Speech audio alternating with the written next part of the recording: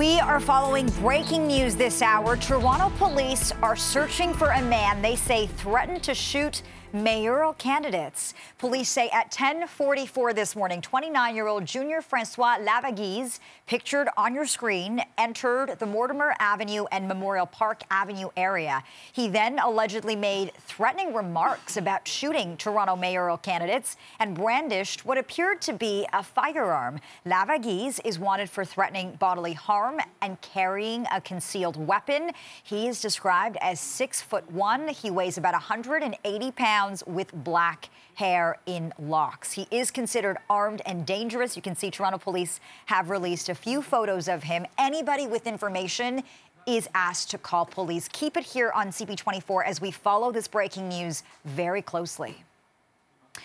And staying on the campaign trail, mayoral candidate Brad Bradford says his team was made aware of the threat earlier today. He's thanking the security team at City Hall and police.